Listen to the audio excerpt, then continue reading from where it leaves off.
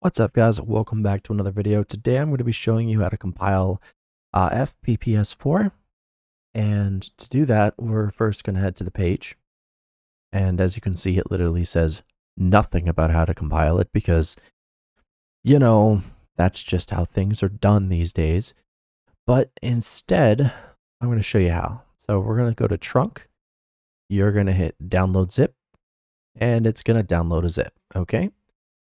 Then what you're going to want to do after that, after it finishes downloading 7,000 years from now, is I'm going to pop this actually in my documents. You're going to right click it right here and extract it. Okay. Now, there are two programs that you need to be able to compile this thing.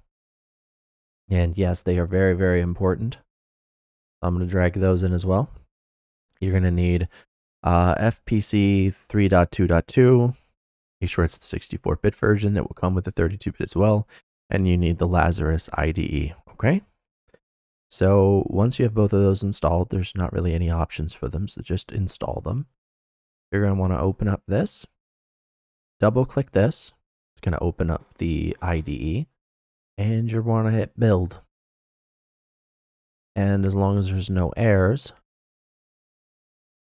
you are literally done and built. Now, the EXEs that it does build are going to be directly in the same file right here. So that's it.